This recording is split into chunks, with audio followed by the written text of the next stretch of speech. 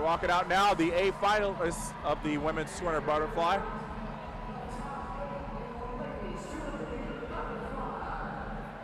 We got one of the stars of the NCSA Junior Nationals in lane number four is the top seed, uh, Cassidy Bayer. She'll definitely be uh, the one to watch here. Let's set up the lanes for you.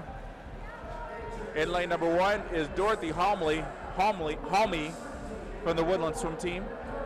In lane two is Ruby Martin from Iowa Flyers. Three, Marissa Delgado from Cincinnati Marlins. Lane four, Cassidy Bayer from Nation's Capital Swim Club. Five, Lauren Case from Chattahoochee. Lane six, Sydney Lofquist from Mason Manta Rays. Lane number seven, Kylie Jordan from Nation's Capital Swim Club. And in lane eight, Carly Glow from Highlander Aquatic Club. So Cassidy Bayer, lane number four. She was far and away the top qualifier from this morning. The only swimmer with a long course lifetime best under 210, 209.08. It's her best. The way she swam this morning, I think we're going to see another lifetime best. She is one of the future stars of the butterfly. She's just 15 years old. We're likely to see her in the finals at the Olympic trials the next year. This is just the, uh, another step in that direction.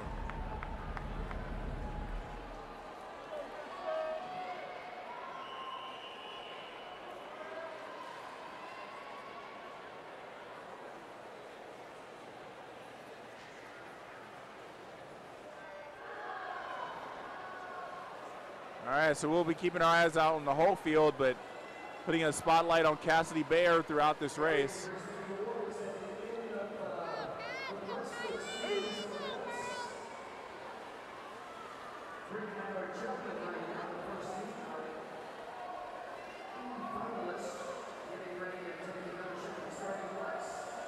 Cassidy Bayer's coming out to the first 50, and she will lead as expected, 28-63. She's out fast. Good grief, she's not letting up. She's letting people know that she is in charge here.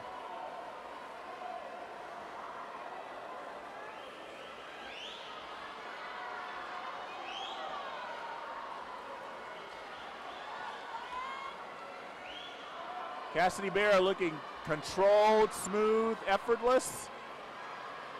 As you should in the first 100. Woo, 101.52. She's on pace to go 207. At 15 years old, that is an amazing swim. She can hold on to her pace. She is out really fast. Hope she's not paying for it at the end. Again, the key here is to build and work into this third 50 to set yourself up to swim fast this last 50. 136.08. She's off a little bit for that 207. Her lifetime best is 209. Looks like she may beat that, but she's got to stay on her pace. She might have gone out a little fast. We're going to see how she holds on.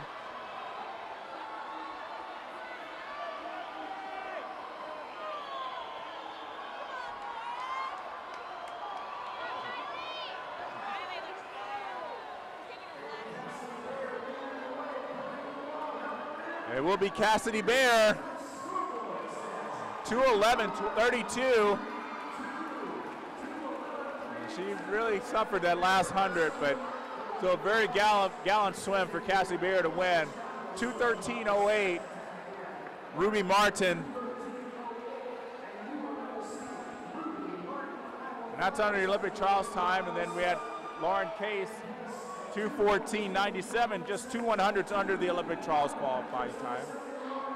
Congratulations to her. So Cassidy Bayer, I know that was a tough swim, but without much long course preparation, not much can be expected.